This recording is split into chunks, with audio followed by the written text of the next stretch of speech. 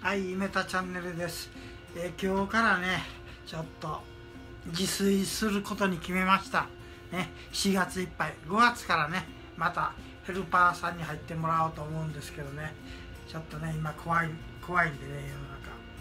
もう人ともう100%合わない。ね。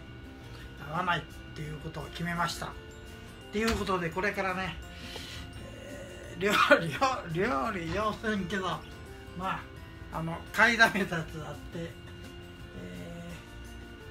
ー簡単な簡単やね。お米さえとと研いだらあとこれ入れるだけなんでね。とりあえずご飯これだけで今日明日行きます。栄養偏るかな。まあね。大丈夫でしょう。ね。これにあと味噌汁ぐらい作って。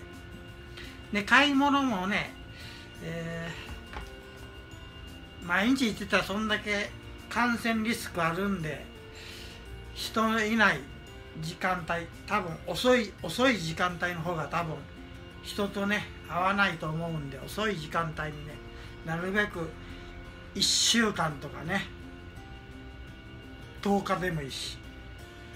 10日やったらね月4回だけスーパー行くぐらいでね。あとはもう家に家に閉じこもってまあ夢田の散歩ぐらいは行くんでね。そういう風に決めました。もう4月いっぱいは誰とも会わない。また5月多分連休入るからねあの今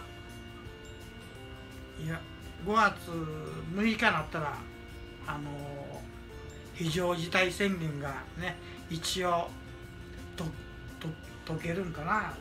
まあその時の状状況でわからないけどとりあえず4月6日ねそれまでは引きこもっときます。ねなるべく人とは会わないようにね会わなかったら感染することも、えー、移すこともないんでね。うん。